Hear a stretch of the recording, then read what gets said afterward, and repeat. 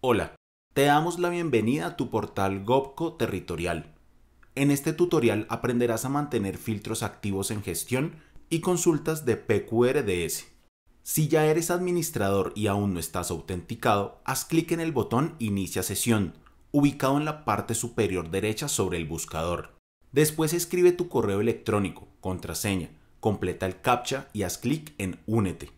Una vez logueado, dirígete al menú Administrador haciendo clic en el botón Administrador, ubicado en la parte superior derecha de la página de inicio encima del buscador. Allí ingresa el ítem llamado Gestión de PQRDS y filtra el rango de fechas, tipo de solicitud y o estado, luego da clic en Buscar.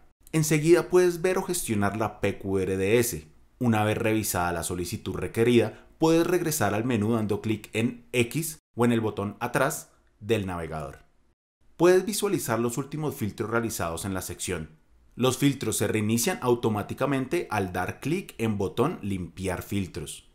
Hemos aprendido a mantener filtros activos en gestión y consultas de PQRDS. Sigue los demás tutoriales y aprende a administrar tu portal Gopco territorial.